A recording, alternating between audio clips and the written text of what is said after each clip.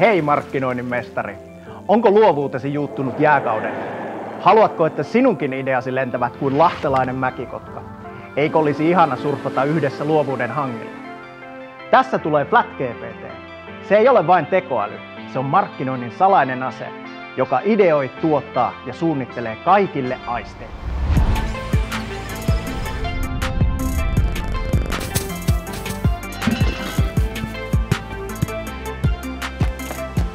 FlatGPTn avulla hoidat AV-tuotannot vaativissa olosuhteissa, muotoilet brändisi uuteen uskoon ja suunnittelet eläimellisiä, äh, elämyksellisiä tiloja brändisi tarpeisiin.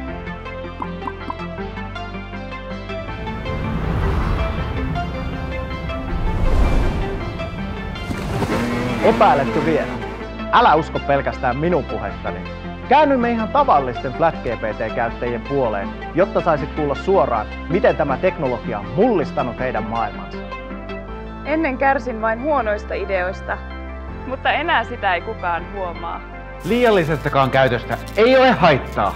Nyt voin jättää kaiken luovan työn FlatGPTlle ja keskittyä itse kahvin juontiin.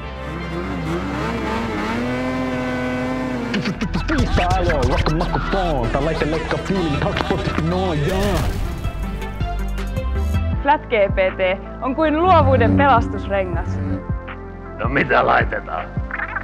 Ai miljoona. No eiköhän me laiteta saman tien kaksi. Meidän asiakkaatkin rakastaa tätä. Se on paras. Se on kuin tanssiope. Se saa koko tiimin tanssimaan samaan tahtiin. Ja tuloksena on koko tiimin diskotunnelma.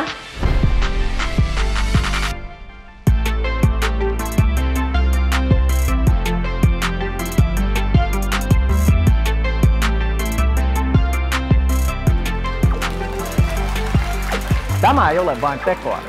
Se on portti luovuuden valtakuntaan ja avaimet ovat sinun käsissäsi.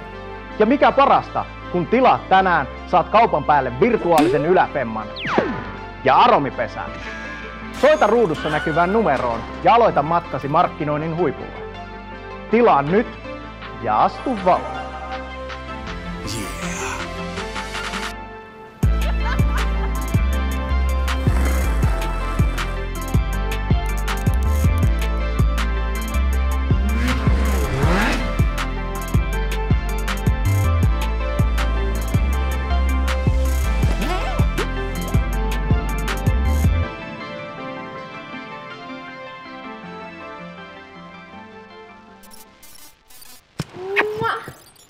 Jeg sagde måne. Ja, måne.